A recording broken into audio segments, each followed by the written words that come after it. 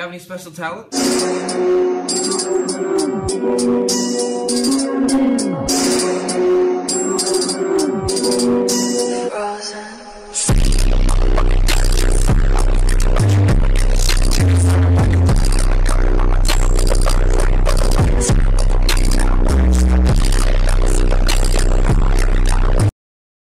These parts which you are looking right now have been the heart of this channel for more than a year. The i7 can be overclocked to 5.1 GHz so long time using will not be a problem with me. Despite that, I really want to try something new which is why I switched to Ryzen 7 2700X from AMD. I really want to switch to Micro ATX but there is none available to purchase for X470 platform that's why I decided to stick with Asus Mini ITX. For the CPU, my original plan was to buy a used one to save money, but I saw a guy sold this for just 270 and I hop in. And it's time for me to say goodbye to my dear old friend.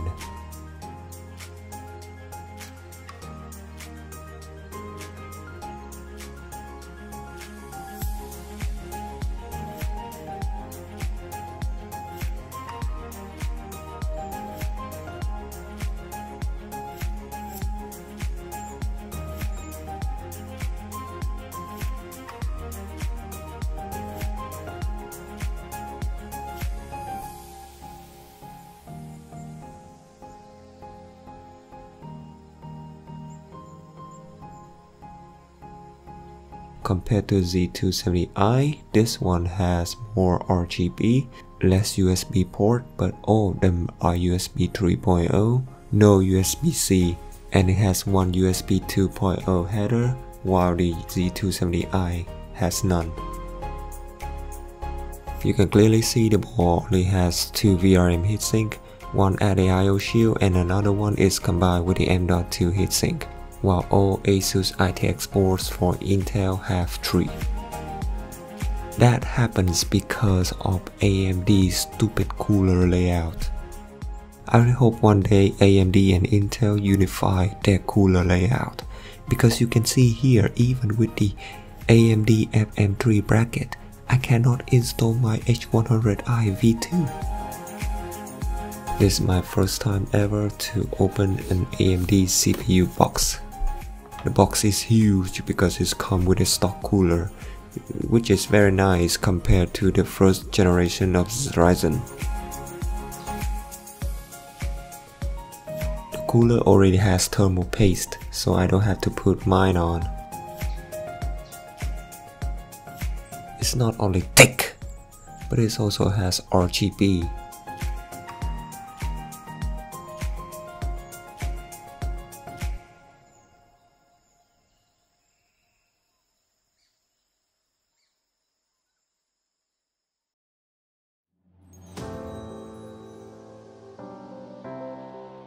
Second gen Ryzen has a better RAM compatibility. I managed to use my RAM XMP without any problem. Still, it's not as good as Intel with a RAM overclocking. I tried to push it to 3466 MHz and it crashed. So no RAM overclocking. But for CPU overclocking, I faced another problem. When I tried to push it, my power supply made noises, which was very scary. Until I get a new power supply, I can only run this machine as stock. Eh, if that's the case, I would rather buy a B450 board instead of an X470. So new power supply then. I go with Thermaltake iRGB power supply. If you are interested in Thermaltake's RGB power supplies, you can buy other versions which are cheaper, but they cannot be controlled by software, and the fan effects are much more limited. This power supply has the same size as my current, so fitting on the test bench is not a problem. The number of ports here is just more than enough for me to use and that mini USB port is used to control the fan speed and the LED effects. Thermaltake is not the only one who does, but giving the customers uh, back to keep the unused cables is a very nice move.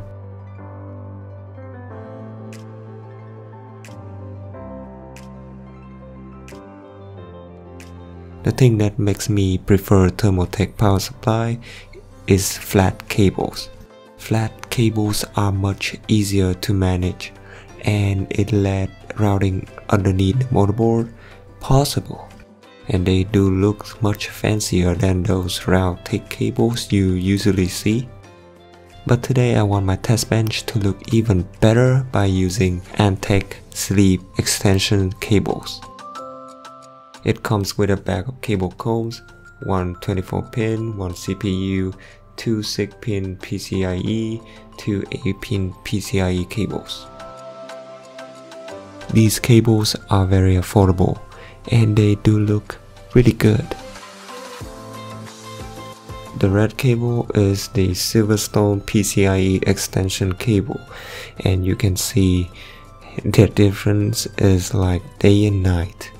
The Antec cables are much stiffer, so they do look better when bent. However, the hardness and the extra length will be the pain in the ass. But challenge accepted. This is what my test bench looks like when I used a non-modular power supply. This originally a laptop tables, so this make me very proud of my cable management skill.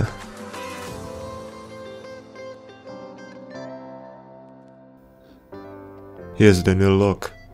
Time to turn this shit on.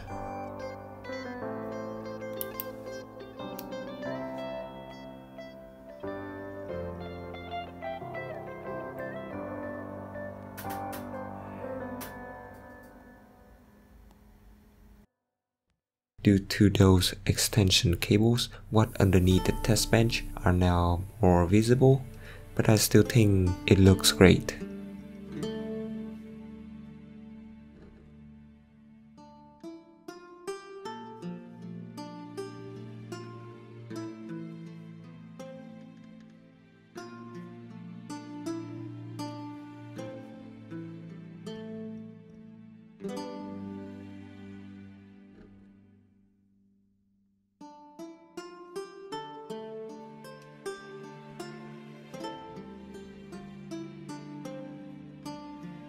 To get more USB ports, I use velcro strap to stick one behind the monitor and another one underneath the table. Sorry for the cable mess, uh, but it's outside, out of mind.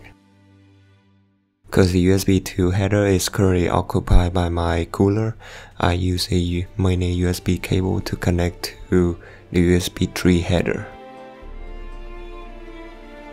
Thermaltake DPS app lets me monitor how much power the system is currently consuming. Also, the uh, app allows me to control the fan speed of the PSU. With zero fan mode, I'm really missing the whoosh sound when I fire up the PC and it barely spins under load. At the moment, iRGB is the only PSU whose lighting effects can be controlled via software. If you plan to buy Thermaltake RGB power supply, you need to distinguish the difference between each versions.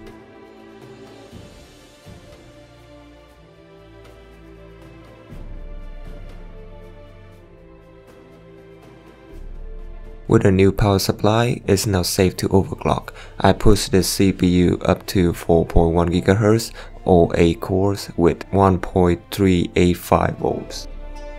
For stability, it passed 1 hour with AIDA 64 but I could not call it a day.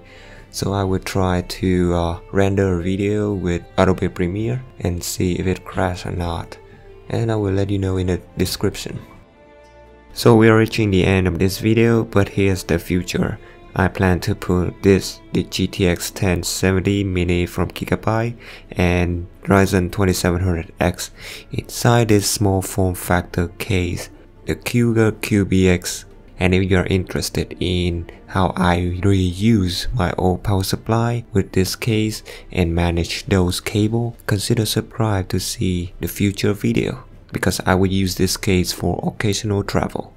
Like I mentioned before, the 7700K did me just fine with uh, video editing and gaming, but I really don't want to stick with a dead platform.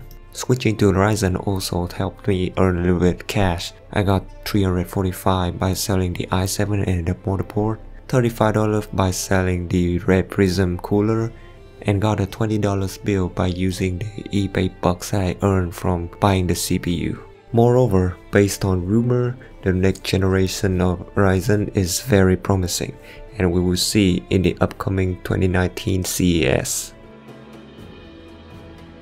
Thank you so much for watching and I will see you in the next video. Bye bye.